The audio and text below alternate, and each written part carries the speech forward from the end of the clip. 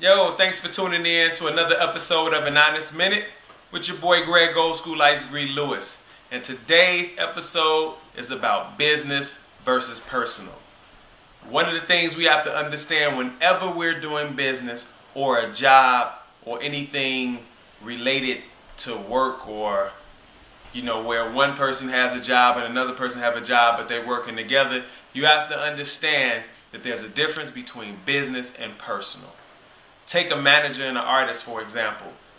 A manager comes into an artist's life to handle business for him that artist has a job to do. A coach comes into a player's life for schooling and teaching and mentoring and that player has a job to do.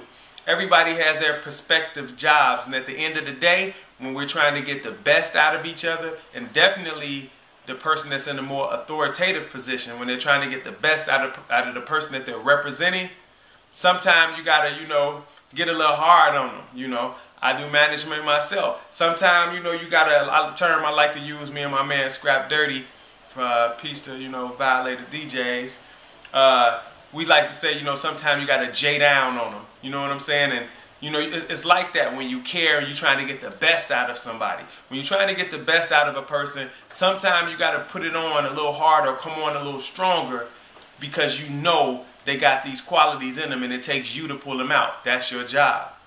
But the other side of that is, can't take it personal. You got to know that this is just business. Whenever there's a situation where we're trying to get money together, that's business. Whenever there's a situation where an individual and yourself is trying to do something larger, that's business. And understand nothing about that is personal. So I hope you got something out of that. You know, that's my tip for the day. Thanks for tuning in to another episode of An Honest Minute with your boy, Greg Olskool Ice-Gre Lewis. And as usual, I'm out.